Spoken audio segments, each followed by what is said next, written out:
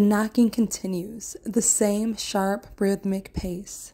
The lock is the only thing keeping them out. The cabin belonged to Sam's great grandfather, and he hadn't used it in years. We were miles from civilization and anyone that could help.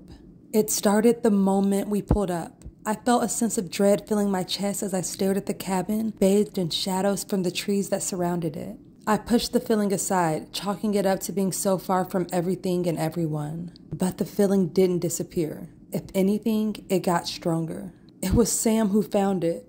He'd been looking for fishing gear in the cellar. Instead, he found the jar, stuffed with a folded piece of paper and what looked like a twig. He dumped the contents onto the floor, holding the twig in between his fingers. It's a bone, he said, dropping it into the jar with a clink.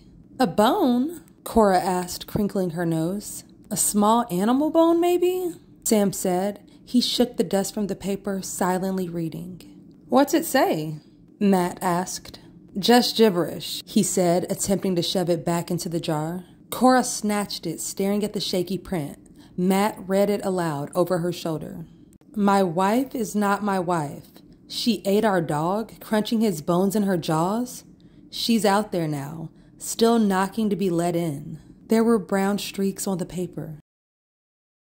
Sam put the jar back in the cellar, but the damage, whatever it was, had been done. We'd all felt it. Some sort of ominous countdown. Matt was the first to go. At midnight, he jumped up, mumbling something about his dog, and ran out into the woods. We tried to explain to him that he didn't have a dog, but he ran and ran into the darkness, swallowed him up. Cora chased after him, screaming his name. Sam, he left an hour later, swearing he'd heard his little brother calling him. Seth's been dead for six years. Sam pushed me when I tried to stop him. I called after him, but he kept running. So I locked the door, sitting on the floor with my back against it. I'd get help in the morning, I reasoned. Then the knocking started. Kay, let me in, Matt said. But his voice was wrong like he had a mouthful of gravel. I ignored the knocking, and after a while, he left. But the knocking continued. Kay, Cora said. I could almost hear her smiling.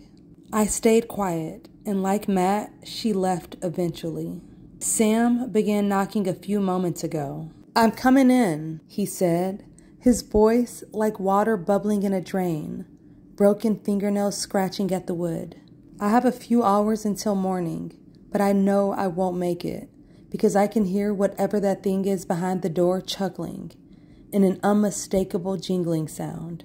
That's when I remembered that Sam has the keys.